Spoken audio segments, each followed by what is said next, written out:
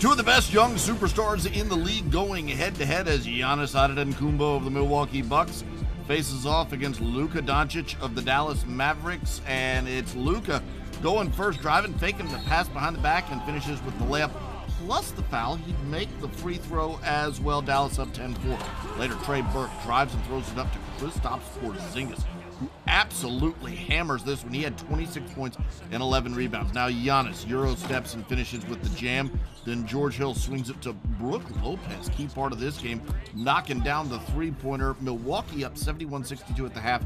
In the third, Porzingis keeps it going. Luka sets him up, and Porzingis gets the stuff. It's a two-point game. Luka crossing up Wes Matthews. Beautiful footwork there.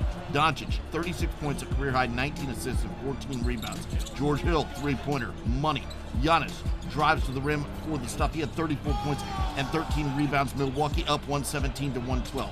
After a few Luka Doncic free throws to tie the game, Milwaukee's George Hill misses the shot, and the game goes into overtime. Luka swings it to Dorian Finney-Smith for the corner three-pointer. Then Luka makes it between the legs. This is just a gorgeous pass to Maxi Kleber for the dunk and foul. He'd make that free throw, and Dallas goes on to win it in spectacular fashion. The final score here 136 to 132.